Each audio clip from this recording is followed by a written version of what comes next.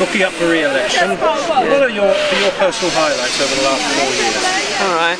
Um, um, the last four years have actually brought me very, very close to the people of Tilbury. I mean, as you know, I live in South Ockendon, but Tilbury is my like second home because I'm always um, down here. I mean, during the past four years, you would know when we had issues of antisocial behavior, how I came on board, how I worked with the police here to resolve the issue. Thank God everything is live, you know, you know, better now.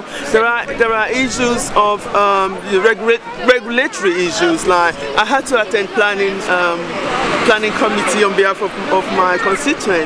I had to attend um, DC in the Development Corporation on behalf of my constituent. I'm really, really happy about um, the Thurrock Park Churchill Road because I played a key role there and also the people there, they're really, really, I mean, people that could talk for themselves as well and I was supporting them. I've been on the on the committee on their behalf to, to, to argue their case. One, about one and a half weeks ago I went around just distributing leaflets, not, not knocking doors.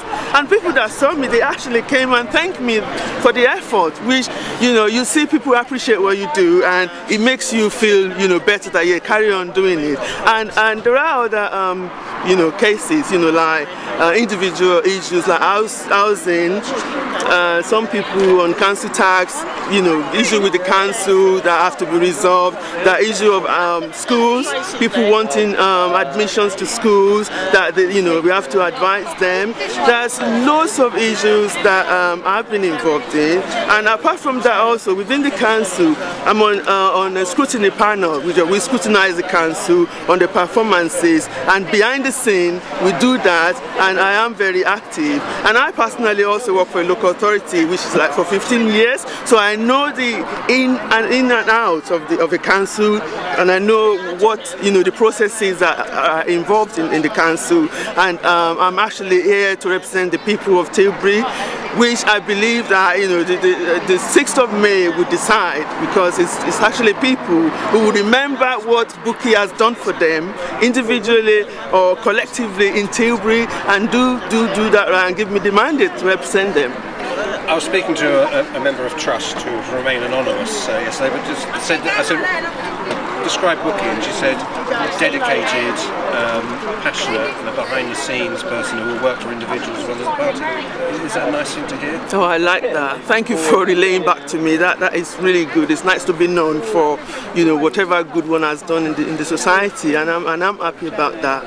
You know, thank you. but do you feel, I mean, sometimes, and sometimes the press can be guilty of this, that we're trying to describe Tilbury as if it's, uh, as if it's Los Angeles and a race ride, but in fact, people of all walks of life, here we are on a Friday morning at a market, mm.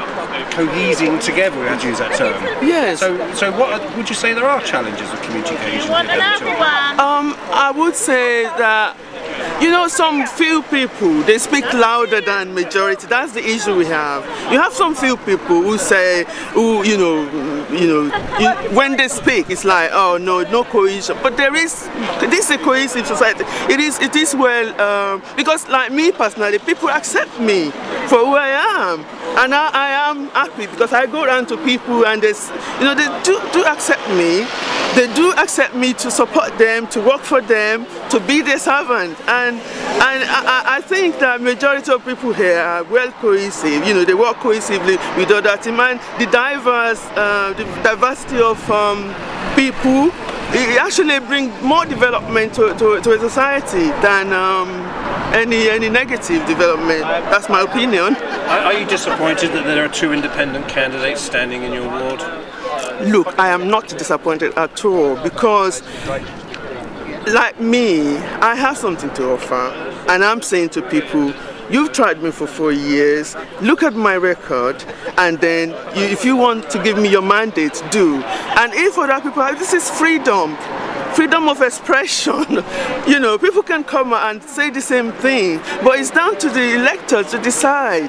I'm not worried. I mean, somebody, uh, Keith Archer, I know him very well. We work hand in hand to make sure that the Churchill Road, um, you know, was never opened, you know, to, to, to and, and he saw me the other day and we are really fine about it, you know, we are fine about it because a lot of people have the interest of um, Tilbury attached and I do have interest of it. I wouldn't be coming back second time if I didn't, you know, so you know, come 6th of May, we are there. I wish everyone the best of luck.